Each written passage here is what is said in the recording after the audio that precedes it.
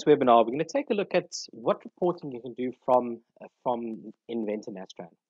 So in this over here, I've got a line diagram, and what I've put is just a couple of forces on in a different, different in a couple of different subcases. I think 500 newtons, 1,000, 2,500, and 3,000 newtons, and then I've just got the same support sitting at the bottom over here.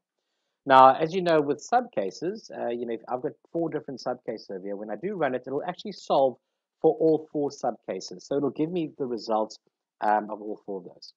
Now, with the reporting, we can run a report. Um, if you've ever worked in Inventor, um, in Inventor analysis, the Inventor simulation, uh, you'll know that you can get, uh, you know, run reports from here, and it comes in a nice sort of tabulated form. Um, and Nastran kind of does the same as well. Although it will go and put in the results for all four of these different subcases. So to do that, what we can do is we can right click on the analysis and we can run a generator report. This only works for your um, linear analysis. So generate report and it will go and um, bring up this report wizard cover over here. So then you can put your title in, you know, obviously something specific to the client or the, the analysis that you're doing, tells you the date, the author, um, you know, subject prepared for software used. Uh, once that's done, then you've got a little bit of a summary. Okay, so the report documents design and analysis using Autodesk Nastran engineering simulation software. Linear static analysis was performed using the finite element model shown in the figure below. The model is divided into 23 property groups. The unit system is millimeters, newtons, seconds. The model consists of a total of 108 nodes and 117 elements. Okay, displacements are small and follower forces are ignored. So once that's done, you know, you can go and change that. You've got your group definitions, any contact definitions you've got, and then just your mesh. So it tells you, you know, how big the mesh is, how many there are. Uh, you know, you can just generally see then um, how how how that was created and performs.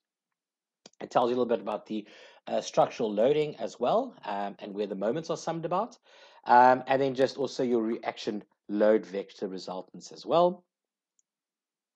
And then just your solution over here. Uh, it tells you the larger solution errors plus plus the loads that you've got over there. And then just a conclusion. Conclusion will tell you um, for each subcase what the loads were and what the, the maximum deflection was as well. Okay, a bit of a, a report wizard. Okay, so just puts that in over there and then click on finish. And it'll ask you where you would like to go and save this.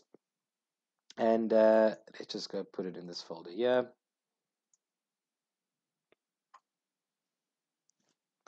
And then it goes and runs the simulation. So it puts in, nice thing about it, you know, it puts these pictures in so you can actually see uh, a much better, you know, you can see it visually as well as get all the, the numbers out of it as well. So while that is running over there, there is also another place to go take a look for this. So if I go to my trailer frame B, okay, InCAD, FEA, you'll see over here, I've got a .out file. And I can go and open this up with my notepad or Note++ if you use that, okay. Okay, so that's just still running over there. Okay, so the report was successfully generated. We're going to go and view this report now. And it tells me what the report is over here. Okay. So summary assumptions, model definitions, group definitions. And as we go down, you'll see it'll start now giving you know pictures of the initial conditions, assumptions, your model, your model definition. So it tells you each line element, what the material was, your bounding box, your mass, your volume, how many nodes in it, and how many elements it was in there as well. Then your part mass properties, okay, moments of inertia, center of mass, your mass, and your material. Material properties, and then your meshing. You got your structural loading, so applied load vector resultants, and then your structural supports as well. So you got your resultant forces, in uh, your x, y, and z direction and your resultant moments around the x, y, and z. Okay, applied load. And then you got your solution over here. So it'll go through um, all your different subcases. your minimum displacement, your maximum displacement. Um, as you can see there, there's only displacement in. If I look down over here, right at the top, in my subcase one over here, my reference model. Okay, so that's the um, where you're having the displacement. Okay, so you can see over here, you know, you can just go through it and, and take a look at your stress results summary, okay, for each different part. So a lot of these parts aren't actually affected because I only put a force right at the end um, of the of the components over there. And then it goes through the different subcases and what the maximum displacement is, as well as your um, the, the displacement of each of your different subcases. Okay. So the displacement 1.7, that's for subcase 2, 3 mil for subcase 3, and then 4 mil for subcase 4. And then here are the stresses over here. So maximum 1.2, uh, 1.24 for the first subcase. I think it was the 500 newtons. Um, 1.7 for the second case, 1,000 newtons. And we went up to 2,500 newtons. Okay, so the stress over there, sorry, stress is 22. I'm looking at the the deformities. Okay, over here, stress is 12.929 megapascals, and stress is 9.685 megapascals. Um, and then when I go right to the bottom there for the, the main one, is 29.448 uh, megapascals.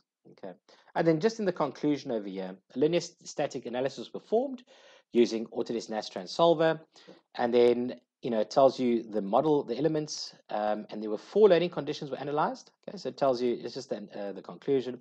The maximum displacement was 1.243 millimeters for load subcase 1. The maximum displacement was 1.7 millimeters for load subcase 2, uh, 3 millimeters for load subcase 3, and 4 millimeters for load subcase um, 4. Okay, and then just the glossary. As we said, you know, when we were running it in the beginning, um, that's kind of what we saw.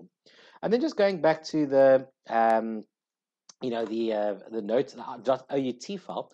So it's kind of got the same thing as It's also got all the information in here as well. And it will tell you information about every single element and node you have over here and the placement as well. So this is also, you know, is a nice way if you want to really take a look and analyze exactly what's going on in this model. You'll see it's actually quite a long, long page.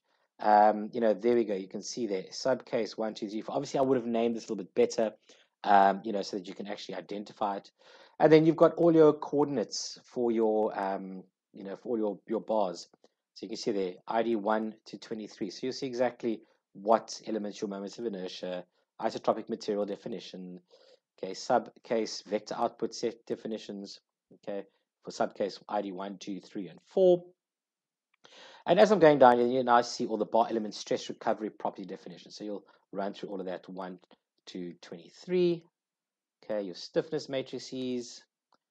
Okay, and then right at the bottom, I just want to check this out, reference points, right at the bottom, um, you will find all your um, your subcases. So here we go. And the maximum stresses. Okay.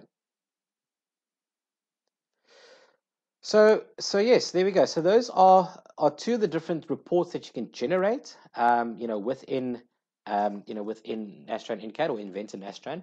So as I said, the, the first one was just by right-clicking on the um, the component and then just saying, you know, um, generate report. The other one is going into the folder where your, your model is saved. There'll be a, a FEA folder in there, and then in that FEA folder, an InCAD folder. In that InCAD folder, you'll have a .out.